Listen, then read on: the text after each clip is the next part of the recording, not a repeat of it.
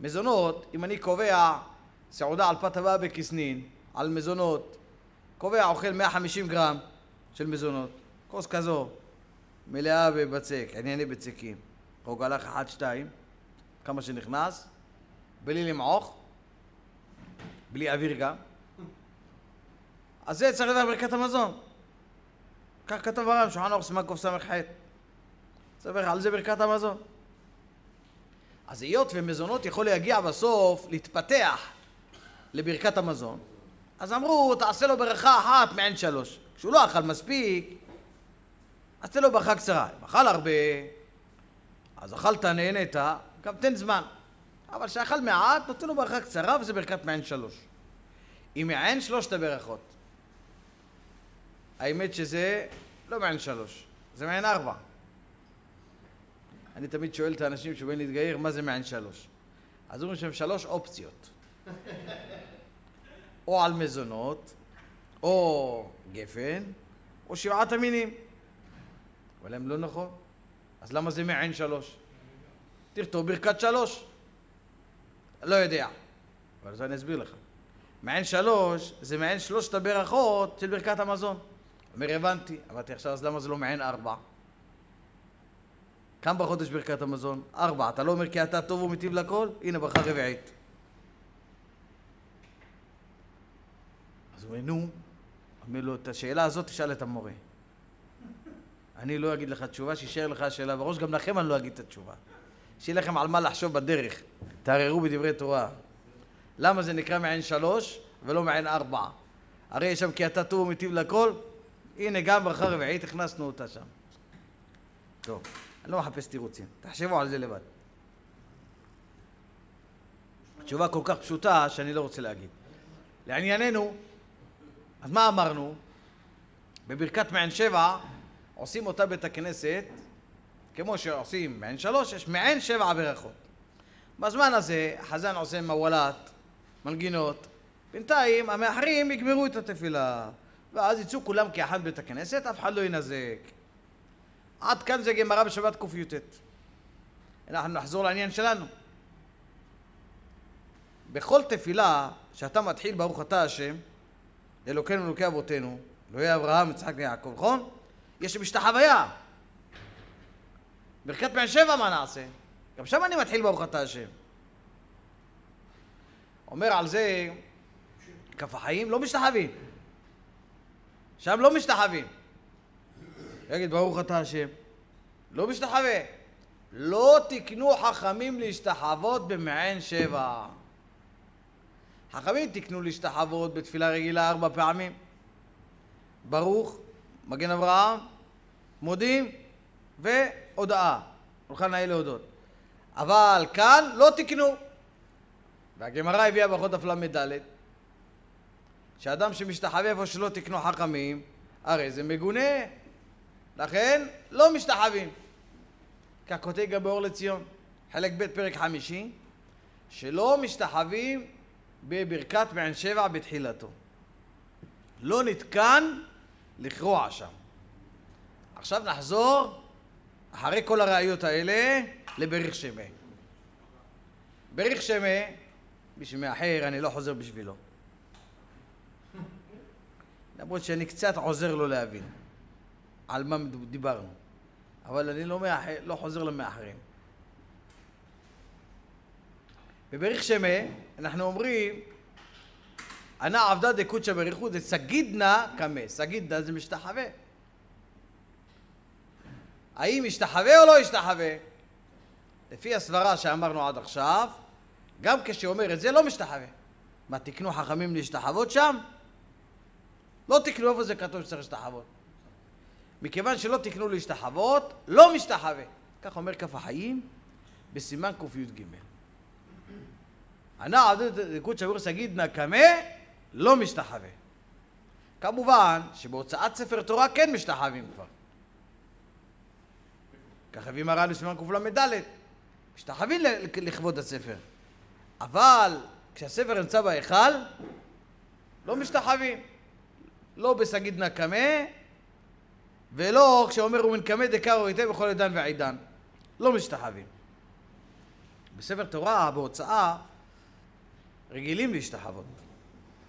מול הספר תורה, כשאדם מראים את הכתב כלפי העם, כולם חייבים להשתחוות. לא יעשה עם האצבע שלו ככה איזה, לא יודע מה הוא רוצה עם האצבע.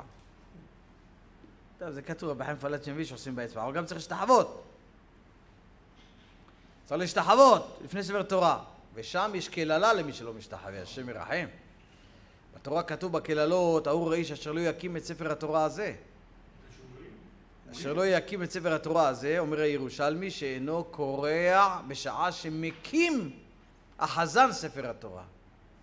כשהחזן מגביה ספר התורה, כולם חייבים להשתחוות. לא תעשה עם האצבעות שלך, תשתחווה, השתחוויה אמיתית. זה דין גמור. אז אם כן, שם ההשתחוויה היא על פי הדין, חובה. אם אתה רואה אחד שלא משתחווה, תדע, לא למד הלכות. ולמד הלכות ישן, חלם. לכן כל אחד יגיד גם כן לאחרים. ברגע שמגביהים ספר תורה, עושים הגבהה, ואתה רואה את הכתב, אתה חייב להשתחוות. לפעמים הוא גומר את הסיבוב, מגיע אליך עוד פעם, עוד פעם אתה משתחווה. להראות שמשתחווה כלפי ספר התורה, ועל זה כתוב ארור האיש אשר לא יקים. אגב, הרמב"ן, בפירוש שלו על התורה, על הפסוק הזה, מעתיק את הירושלמי. אומר, הרבה טועים בדבר. כתוב ארור בתורה. זה נורא ואיום זה. הירושלמי ככה העמיד, זהו. אין פרשנות אחרת. אז אם כן, שמה משתחווים. כמה משתחווים? משתחוויה גמורה, אבל כמה משתחווים? כמה פעמים? לא שאלתי, שאלה רטורית, כי ידעתי שאתה לא יודע את התשובה. אל תנחש. לא קוראים לך יוסף, וגם אם היה יוסף, אני לא השבטים. כמה פעמים השתחווה? תשמעו, אני, יש לי את התשובה. אני לא שואל אתכם בכלל. גם אם אתם לא פה, אני מדבר. אני רגיל לדבר למיקרופון שאין אף אחד.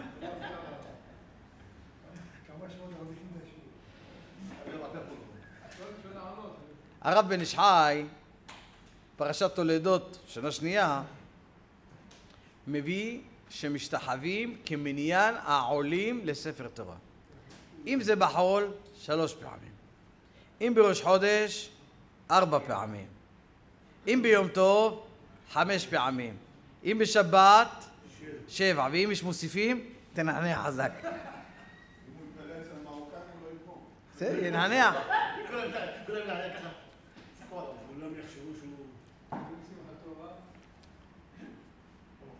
בשביל זה רוקדים כבר, כי הראש לא מספיק. בכל אופן, כך מביא הרב בן איש חי, שזה המנהג, הוא אומר, זה מנהג בגדד גם. אצל הבבלים זה, ודאי ככה. מה זה מזמר היד? זה סתם. לא? לא? יש נוהגים לעשות.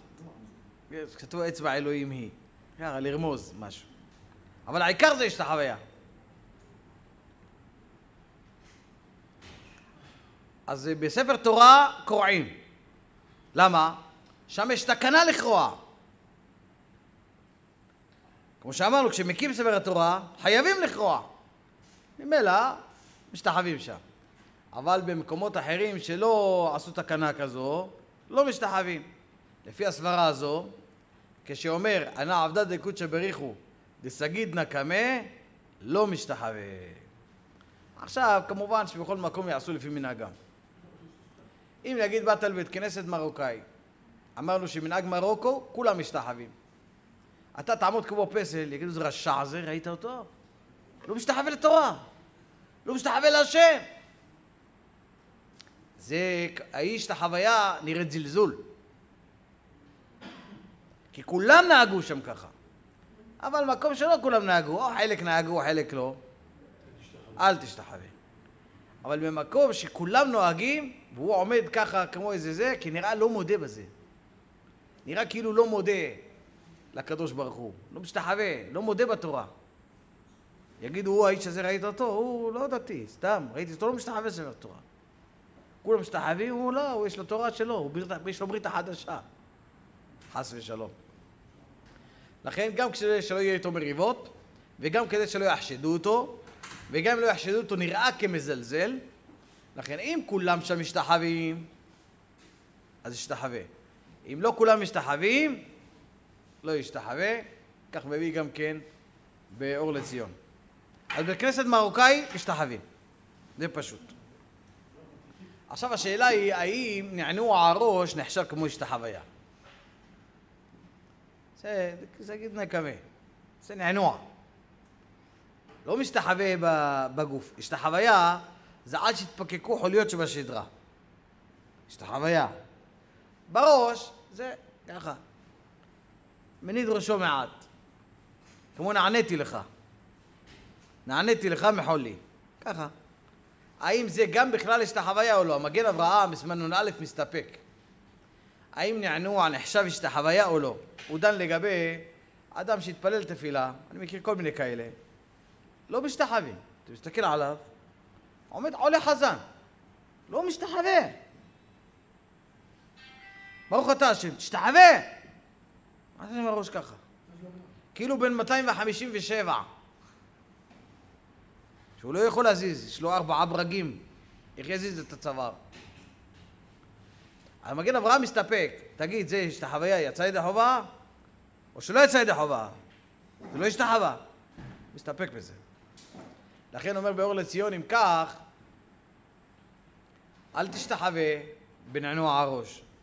כי הרי אמרנו שנענוע הראש, יש דעות שזה השתחוויה. מסתפק המגן אברהם. לגבי תפילה, כי מקום שאסור להשתחוות, גם אל תנענע את הראש. אתה עושה נענוע לפני ספר תורה, זה דומה למשתחווה לפני ספר תורה. ואתה אומר שהמנהג הוא שלא להשתחוות. כך הוא כותב.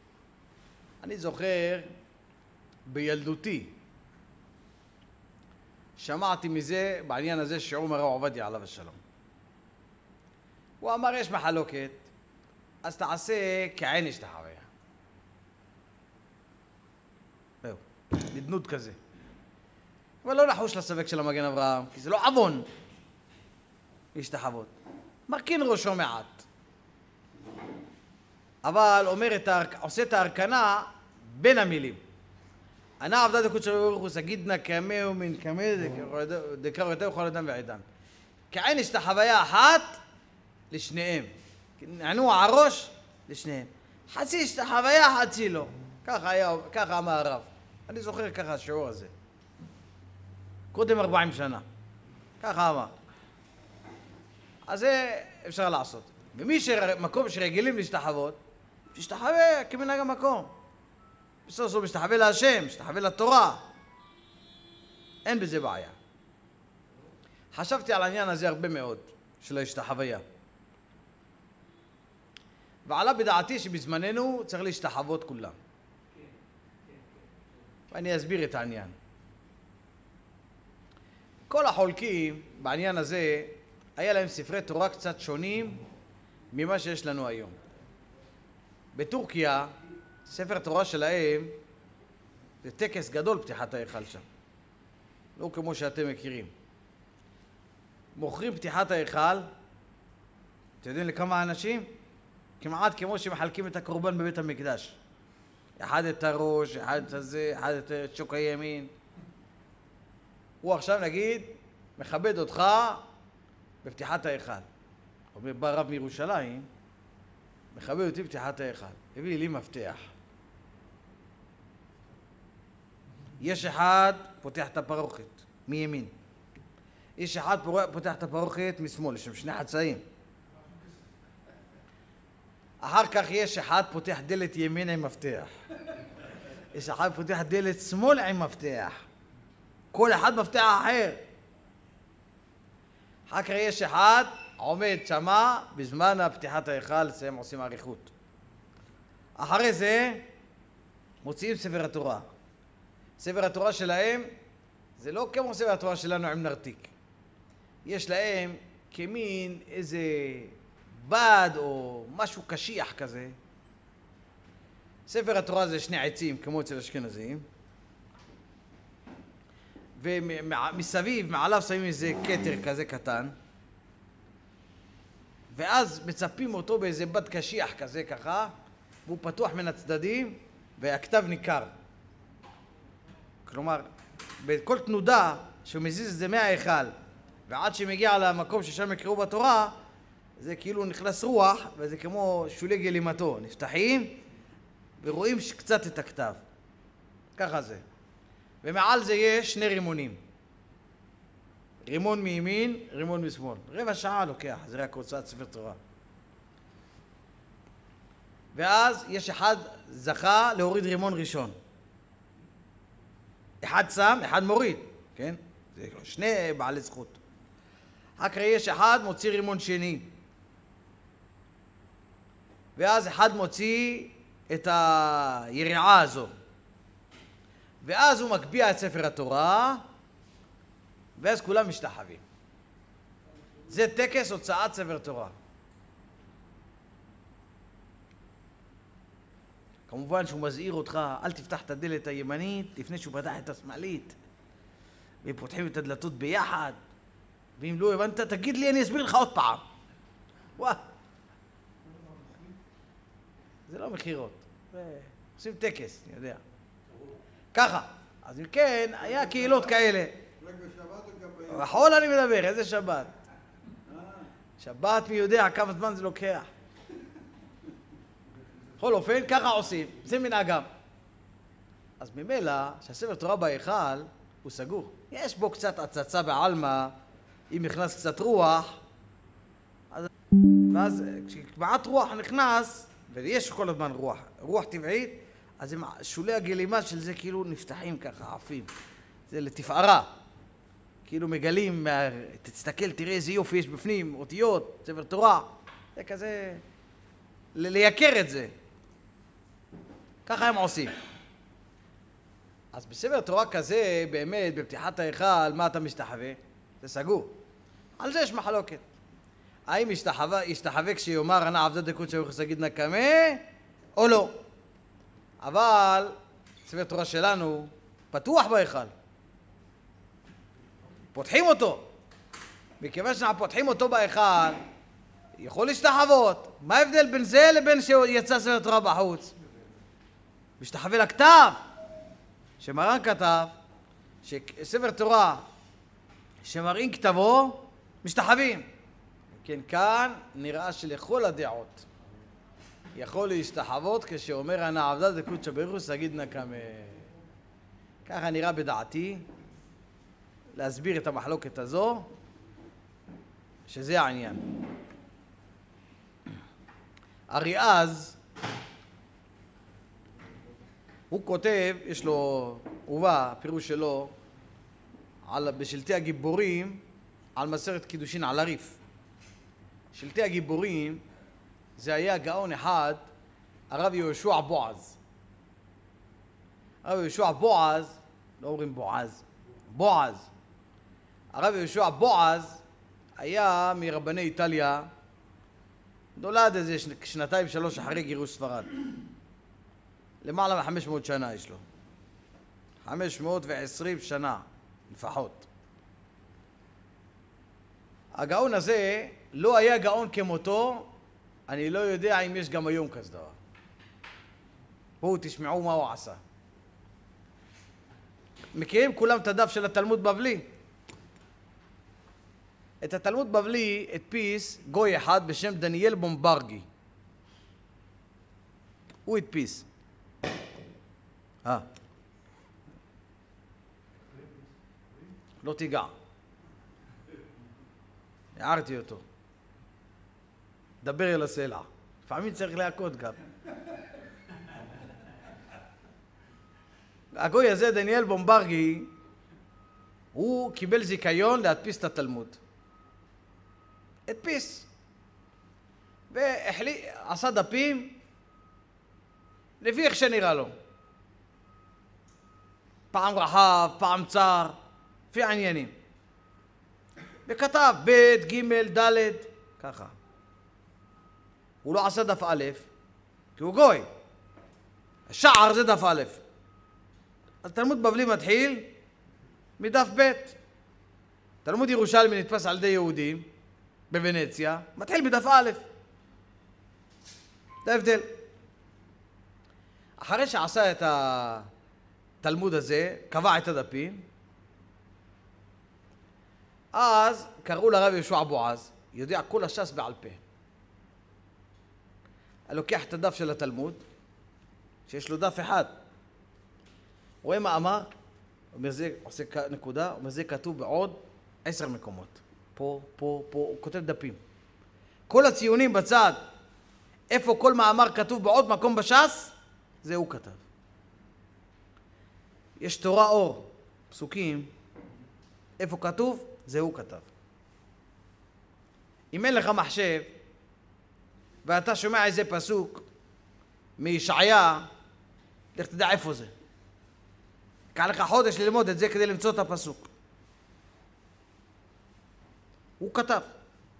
הוא עשה תורה אור, זה הפסוקים. מסורת הש"ס, ציונים לכל הש"ס. איפה נזכר המאמר הזה עוד פעמים? או איפה הוא נזכר בשינוי שם? פה כתוב רבי שמעון אומר, רבי שמעון בר יוחאי, פה כתוב רבי שמעון בן יהוד צדק. יש כאלה גרסאות לפעמים. פה כתוב רב אשה, פה כתוב רב עשה. מציין לך. אחרי כל זה, עשה עין משפט. למעלה, איפה כל דבר נפסק ברמב"ם או בשולחן ערוך. כל מאמר בתלמוד. זה רבי יהושע בועז. מגאוני הגאונים שהיה. מגאוני גאוני ישראל. אמרנו לפני 500 שנה, היה באיטליה. נולד בשנת רס' הוא נפטר בשנת שטו, שט"ו. מרן נפטר בש, בשנת שלט, של"ט. אחרי זה, בדורו של מרן היה החכם הזה. בכל אופן, הוא... אה, אה, הוא יש לו שלטי הגיבורים, הוא כתב שלטי הגיבורים על הריף. הריף, בסוף התלמוד יש, בסוף כל מסכת יש ריף, רבנו יצחק אלפסי. יש עליו פירוש רש"י אפילו, מגדולי רבותינו הראשונים, אלף שנה. אה, לא מדברים בבית הכנסת. אז יש על הריף שלטי הגיבורים. הוא כתב בשלטי הגיבורים, מביא דברים שאומר ריאז. אומר ריאז, מי זה ריאז? ריאז היה נכדו של תוספות ריד. ריד, יש ספר תוספות ריד. תוספות ריד היה בזמן בעלי התוספות. רבי ישעיה דיטרני. ריד. רבי ישעיה דיטרני. טרני זה מקום באיטליה, שם המקום. יש שם מצר, יש שם טרני, עיר אחת, ועיר אחת טהרנטו. באמצע עובר המצר, זה באיטליה. הנכד שלו זה אריאז. רבי ישעיה אחרון ז"ל, בשתיבות ריאז. רבי ישעיה אחרון ז"ל, כי הסבא שלו זה גם ישעיה. רק כדי להבדיל בין הנכד לסבא, אז אמרו רבי ישעיה אחרון ז"ל, הוא היה נכדו בן ביתו. כשנפטר הריד, אמר, משפט האחרון שאמר, הנה בן ביתי יורש אותי. כשהיה כתוב בן ביתי, אז הוא אמר, הנה בן ביתי יורש אותי. וזה אריאז. אריאז לפני 1200 שנה, בזמן הרשב"א. הנכד, בזמן הרשב"א. קיצור, קדמון מאוד. השלטי הגיבורים, היה לפניו את הכתב יד של אריאז, והוא הכניס הרבה מהאריאז בשלטי הגיבורים. אז אם כן, הדעה הזו קדומה ביותר. אריאז, הביאו אותו שלטי גיבורים על הריף דף י"ד, אומר, לא נמצא בכל התורה שמשתחווים אפיים לארון הקודש בבית הכנסת. אומר, אין דבר כזה, לא שמענו מעולם שמשתחווים אפיים לארון הקודש בבית הכנסת.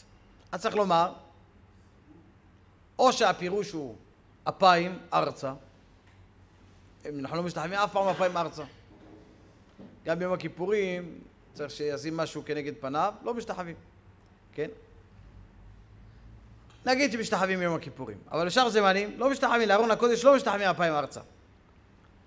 או שזה מדובר דווקא כשהספר תורה סגור.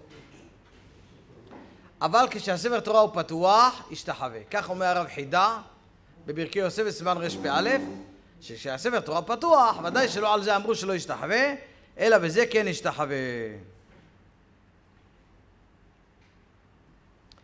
אז עכשיו ישאל אותך אדם, אני עובר ליד היכל, ואני רוצה להשתחוות. להיכל, ככה. יש לי עוון? אין לו עוון. רבי חיים פלאצ'י כותב בספרו גנזי חיים, במערכת ה', שאדרבה, כשבן אדם עובר לפני ההיכל, לא ישתחווה סתם, אלא יגיד, ואני ברוב חסדך, אבוא ביתך, אשתחווה. כי כאן הוא אומר פעולה שהוא עושה. אשתחווה, שלא יהיה מעד עד שקר בעצמו. אשתחווה אל היכל קודשך ביראתך. כלומר, יאמר את ההשתחוויה, וישתחווה מיד יבצע. לפי הזוהר הקדוש, אדם שבא לבית הכנסת בבוקר, טוב שיבוא עם טלית ותפילין. לא תחת בית שחיו, כשהוא מעוטר בטלית ומוכתר בתפילין. יש לו כתר, מוכתר בתפילין. וייכנס לבית הכנסת רק כשהוא כבר לבוש בהם. למה? כתוב בזוהר הקדוש, בשעה שבן אדם יוצא מביתו לבית הכנסת והוא מעוטר בטלית ומוכתר בתפילין, מזדמנים לו שני מלאכי השרת ועומדים בפתח ביתו ואומרים לו יברכך השם וישמרך וכל אשר תבקש יעלה בידיך. כך כתוב שם. וכשהוא עובר, הם מפנים לו את הדרך, המלאכים. שני מלאכים, עשינו, תפאדל, כבוד. נשארים שניים לשמור, שניים חדשים מלווים אותו בדרך, ואלה צועקים לו, השם ישמור צאתך ובואך, מעתה ועד עולם. מחכים לשמור לו על הדלת עד שיבוא. שני מלאכים, זוהר הקדוש. הביא את זה רבי חיים פלאצ'י בספרו כף החיים. פלא פלאות. כשנכנס לבית הכנסת ואומר, אני פסוק, ואני ברוב חסדך אבוא ביתך, אשתחווה לך קודשך ביראתך, כל המלאכים שממונים על העברת התפילה, וכל המלאכים שבאו עם אלה, רק איתם באים מלאכים, שבאו גם כן עם טלית ותפילין לבית הכנסת מהבית, באים ומנשקים את התפילין, מנשקים. אתם מרגישים כובד ככה? מישהו לוחץ לכם? לא מרגישים? אז כנראה אנחנו לא מרגישים. אבל יש מלאכים שמנשקים לך את התפילין. כתוב מנשקים אותו על פניו, אחד מימין, אחד בשמאל. אבל אם בא לבית כנסת ואומר, ואני ברוב חסדך אבוא ביתך, ואין לו טלית ותפילין, כל המלאכים רצים, רואים אין לו תפילין, טופחים לו על פניו, יא וילק. מה זה יא וילק, יודעים? יודעים מה זה יא וילק? אה? לא יודעים? לא. לא למדתם ערבית. וויל בערבית זה ייסורים. אדם אומר יא ווילי, אוי לי הייסורים שלי. לכן לא יגידו יא ווילי. וחליפו בווילי. לא שר עבדול ככה? תשביע אותו בייסורים שלי. וחליפו בווילי. ווילי זה ייסורים. בקיצור, יוולו! מלאכים נתנו לו צ'פחה, נתנו לו מכה. הוא אומר, את זה מרגישים גם. אז תתחיל לדעת, תיזהר. זה רואים מה זה הפסוק הזה. אז כשאדם נכנס ואומר, ואני ברוך חסדך אבוא ביתך, אשתחווה, משתחווה מול ההיכל, עם הטלית התפילין. מלאכי השרת מנשקים אותו. גם אם אתה מאחר, תמיד יצא מביתו לבית הכנסת עם טלית ותפילין. לבוש. אני הרגלתי עצמי בזה עשרות שנים. תמיד.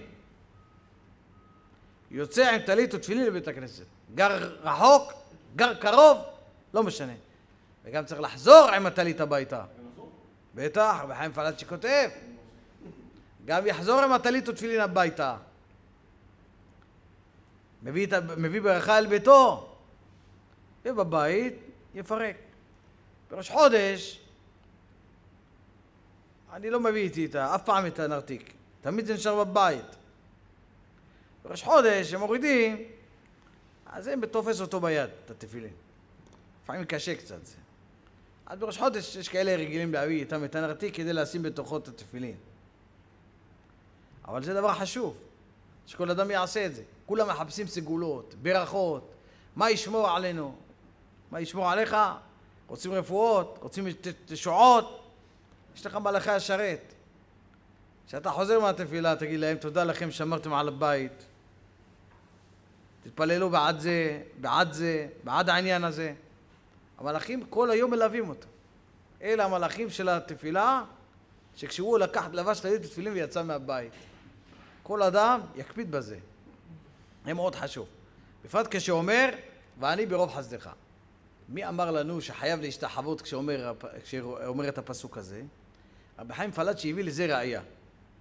הגמרא בסוטה בדף ל"ה אומרת, אנחנו יודעים שכשאהרון ברית השם, בזמן שעלי היה, היה כהן, היה נביא גם,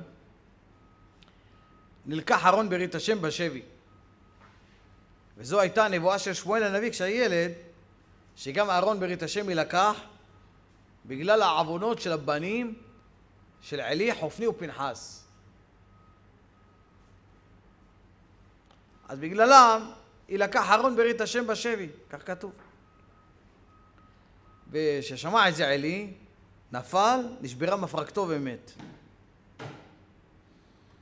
היה אהרון ברית השם נמצא אצל הפלישתים שבעה חודשים. עם ישראל בצער גדול.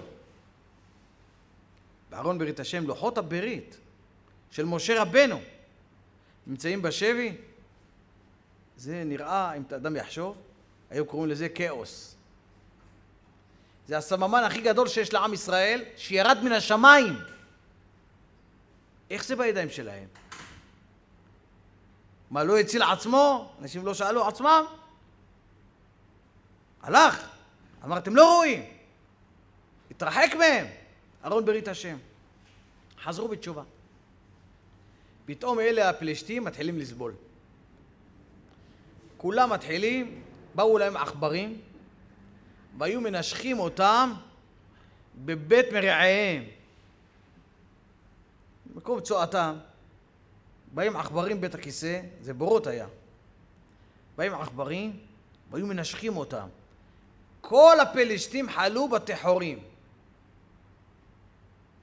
אמרו, אולי זה בגלל הזה. הם עובדי עבודה זרה היו, אבל אולי בגלל אהרון ברית השם. אז אמרו, בואו נחזיר אותו. אבל איך נדע אם זה בגלל זה? אנחנו נביא אותו בעגלה חדשה, נשים עליו מתנות בזהב, עכברים מצורת זהב וטחורים בצורת זהב, כמתנה על אהרון ברית השם, וניקח שתי פרות, שלשתיהם יש ילדים, עגלים יונקים, צעירים מאוד, שהפרה לא עוזבת בהתחלה את העגל שלה. עגל של הפרה רוצה לינק, רוצה לינק העגל. ואנחנו נשים את העגלים לידם ונחבר את הפרות האלה לעגלה הזו ונראה אם הם ילכו לבד. הם הצליחו להינתק מהטבע שלהם עם עגלים והיו העגלים בוכים, פועים. והאימהות הלוך וגעו.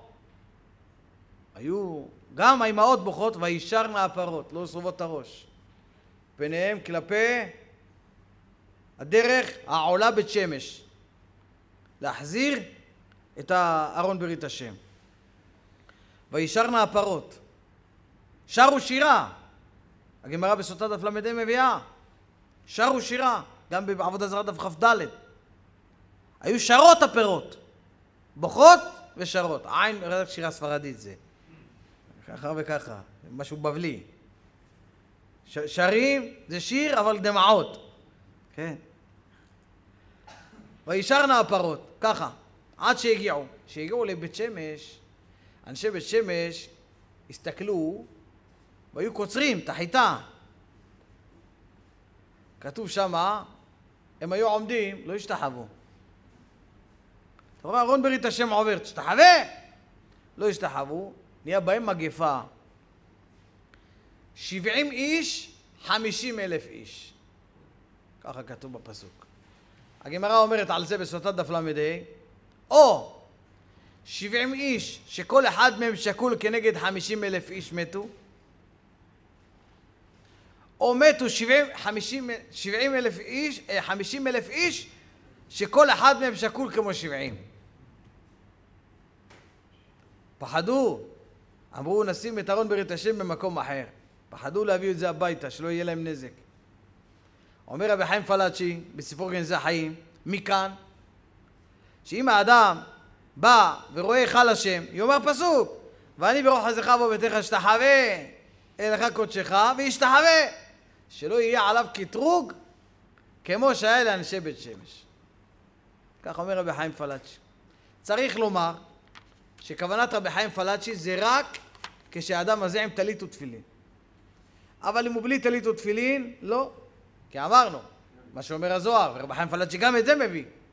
אם הוא נכנס בית הכנסת, הוא אומר, ואני ברוב חסדך, ואין לו טלית ותפילין, באים מלאכים, אה, אין לו, טופחים על ראשו. אה, מה עשית? מה הטרחת אותנו סתם? אבל בכל אופן מזה למדנו לגבי את החוויה, מתי מותר ומתי לא, יש בזה עוד פרטים ועוד דינים בשיעורים הבאים. בכבוד הרב.